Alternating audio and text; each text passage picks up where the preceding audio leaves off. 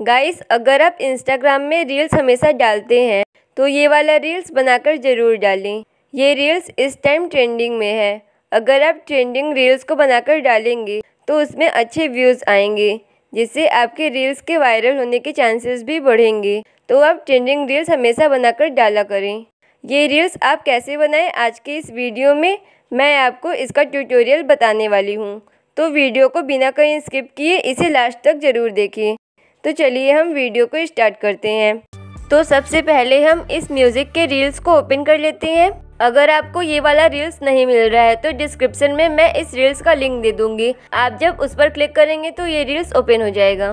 Video बनाने के लिए हमें इस रील्स का म्यूज़िक चाहिए। उसके लिए मुझे इस रील्स को डाउनलोड करना होगा। तो हम इस थ्री डॉट पर क्लिक कर लेते हैं। और लिंक पर क्लिक करके इस रील्स के लिंक को कॉपी कर लेते हैं। अब हम बैक आ जाते हैं। अब हम किसी ब्राउज़र को ओपन कर लेते हैं। जैसे कि मैं क्रोम ब्राउज़र को ओपन कर लेती हूँ। और फिर यहाँ इंस्टाग्राम रील्स डाउनलोड सर्च कर लें।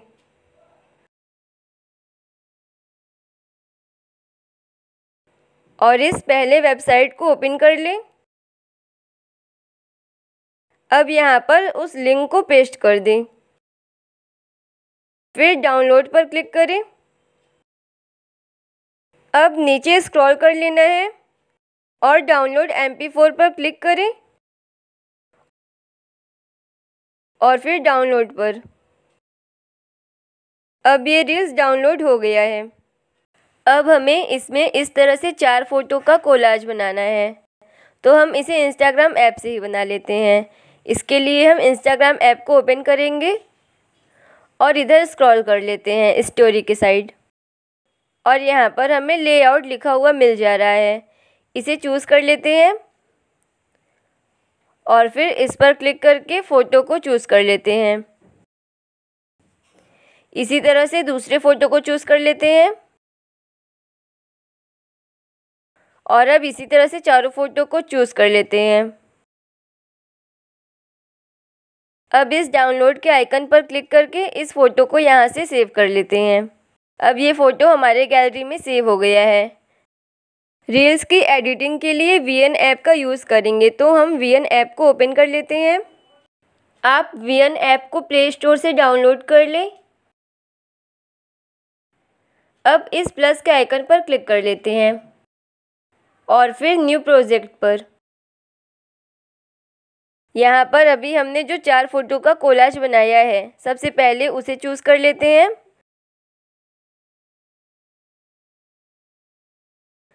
और आगे के आठ फ़ोटो को।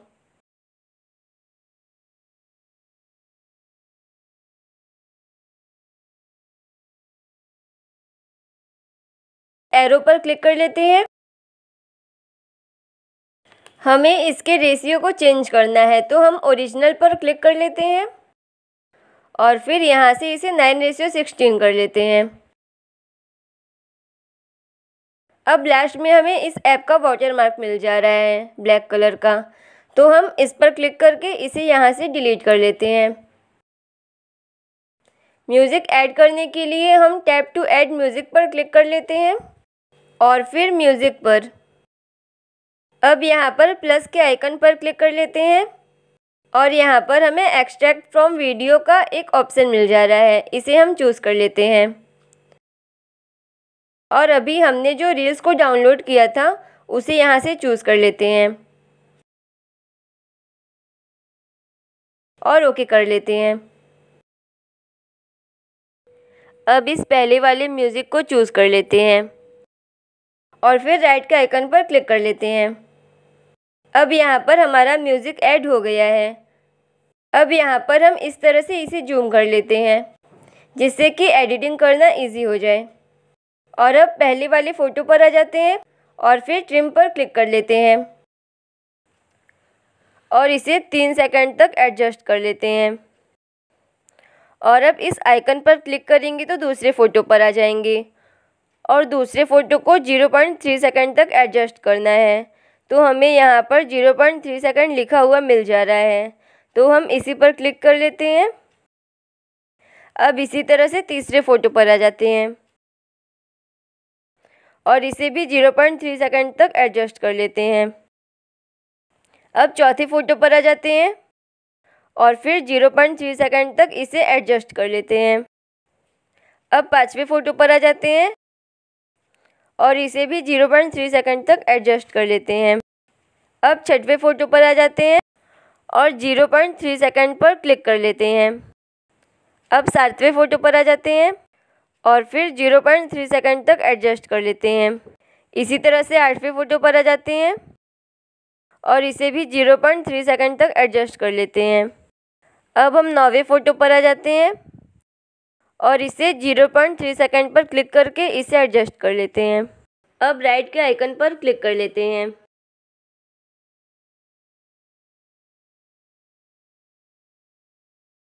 अब हम इस तरह से फ़ोटो को सेलेक्ट करके यहाँ से अपने फ़ोटो को भी एडजस्ट कर लेते हैं। इसी तरह से हम सारे फ़ोटो को एडजस्ट कर लेते हैं।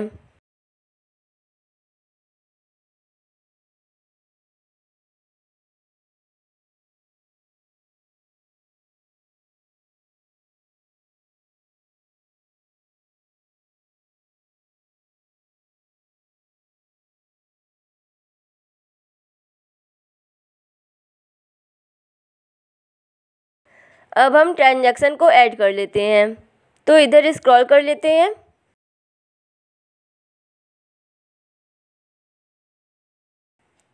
और यहाँ पर हमें जूम का एक ऑप्शन मिल जाएगा। इस पर क्लिक कर लेते हैं।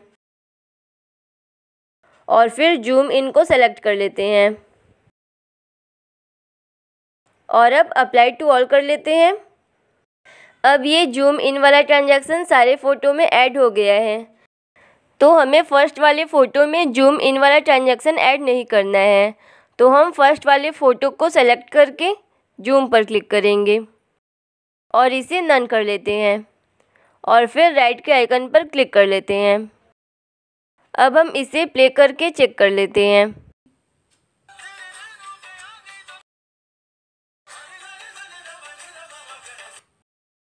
अब इस पर क्लिक कर लेते हैं और इस वीडियो को गैलरी में सेव कर लेते हैं।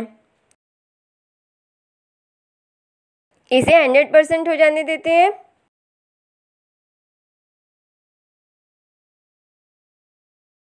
अब हम इसे गैलरी में ओपन करके दिखा देते हैं।